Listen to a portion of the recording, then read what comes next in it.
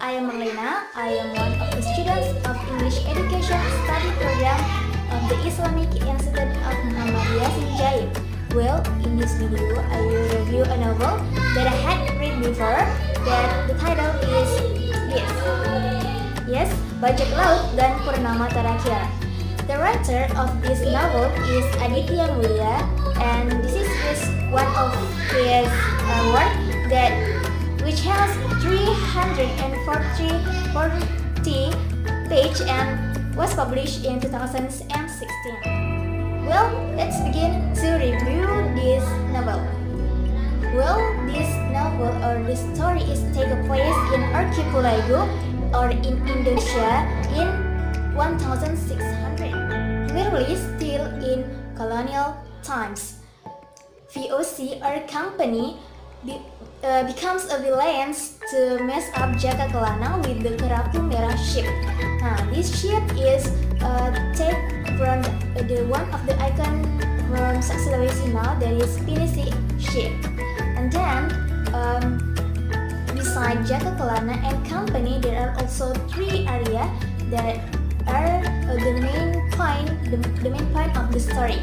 So the story is a great a mix with uh, history, action, and comedy. And instead, twist in historical stories. Moreover, uh, the kingdom in Indonesia are already uh, in the history package. And then, even the language of this novel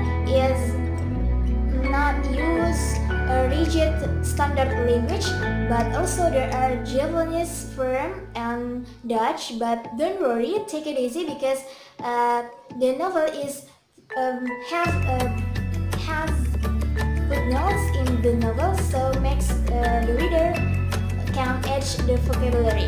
And then comedy, so not separate wrong jokes that are able to make me laugh.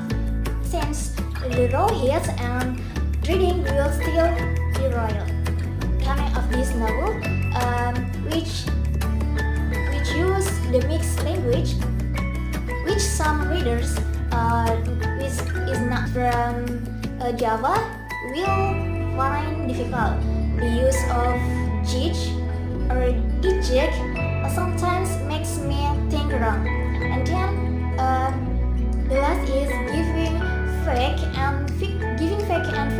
in the behind of the page of the this novel is very fitting and that makes the reader and me is distinguished correctly. So for you guys who want a different reading uh, and want to learn the history but not but not but in the way but in the one uh, way to learn the history so uh, this is a great choice for